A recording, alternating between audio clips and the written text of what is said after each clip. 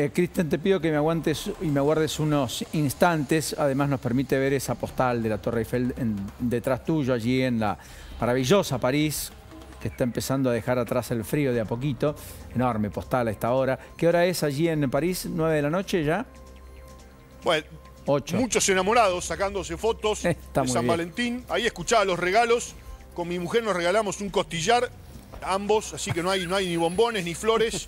Eh, regalo vikingo, como corresponde. Pero bueno, la historia de San Valentín está acá, nace en Italia. San Valentín fue un sacerdote que allá en el siglo III em, le pedía al emperador Claudio III eh, que deje casarse a los legionarios jóvenes, em, justamente para... Em, se lo pedía un 14 de febrero, dice la leyenda, porque en ese entonces los soldados romanos pedían que no se casen para no tener tantos vínculos sentimentales, iban a la guerra, finalmente el emperador romano terminó em, eh, aceptando y así se convirtió Valentín, en, fue santificado eh, San Valentín y por eso celebramos el 14 de febrero. A partir de la Edad Media se hizo este mito eh, en Italia, Francia, en el Reino Unido, para expandirse por todo el mundo. Extraordinaria historia, extraordinaria con mi mujer nos regalamos un costillar, ten claro que es la frase de la tarde. Para nosotros no hay otra. Es inigualable, Cristian, al respecto. Le sacamos una sonrisa. Está muy bien. Para, aguarda, aguantame un minuto. Está el querido Gustavo Segre ya con nosotros allí en... Gustavo, enorme abrazo. ¿Cómo andás? ¿Qué tal, Paulinho? Un abrazo a Cristian. Bueno, vos sabés que acá no se festeja San Valentín el día de hoy. Se festeja el 13 de junio pero igual yo fui un poco más romántico, le regalé a mi esposa una canción cantada por mí en portugués. Y escúchame, ¿te animás alguna estrofa? Sí, claro. Tô com saudades de tu, meu desejo. Tô com saudades do beijo e do meu, do teu olhar carinhoso, do teu abraço gostoso, de passear no teu céu. pará, pará. Escucha, ahora ya tenemos dos frases del día. Sí. Nos elegimos, nos regalamos un costillar y ahora es me quedo con el costillar. Es la frase de la producción frente a tu canto y la iniciativa de Cristian a propósito del Día de los Enamorados. Tenelo claro, digamos. No, estoy escuchándolo bien, Paulino, se me fue un poquito el retorno. Ah, qué pena. Aprovecho y te cuento lo que mencionaba recién Cristian también.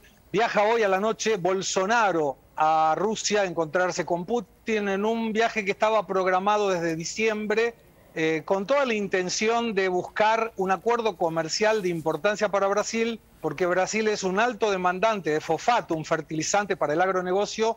Brasil usa mucho, hay restricciones a la oferta, Rusia es un candidatazo para esa oferta y como hay demanda en otros países, Bolsonaro quiere asegurarse la provisión de fosfato.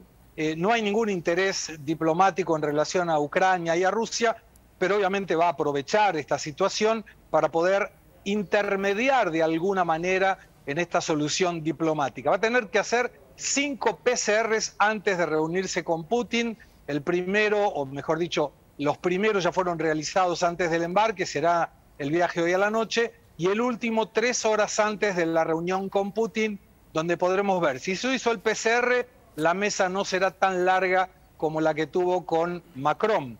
Pero hablando de Bolsonaro, Paulino, hay un dato que llama la atención, que son las encuestas electorales. Falta muy poco tiempo, ocho meses, para las elecciones de octubre de este año 2022, donde todas las encuestas lo dan confortablemente ganador a Lula Silva, algunos por 11%, otros por 20%, pero si yo te digo que hay una diferencia tan grande en el primero y el segundo, y te cuento que el primero organiza una manifestación en la playa de Copacabana. Vos seguramente dirás, se llenó de gente.